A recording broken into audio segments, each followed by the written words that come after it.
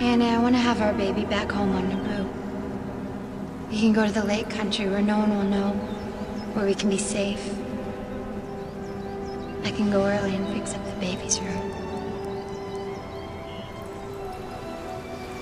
I know the perfect spot. Right by the gardens.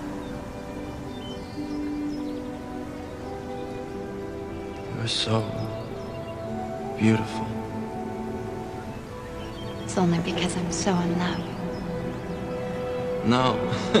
no, it's because I'm so in love with you. So love has blinded you. what about Obi-Wan? What? He said you turned to the dark side. That you killed younglings. I have brought peace to the Republic. Come away with me. Help me raise our child. Leave everything else behind while we still can. While we still can. While we still can. Oh, Padme, listen to me.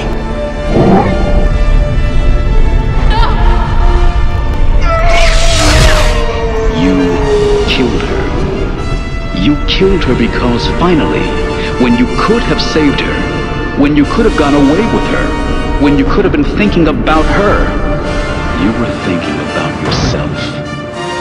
It is in this blazing moment that you finally understand the trap of the dark side, the final cruelty of the Sith. Because now yourself is all you will ever have.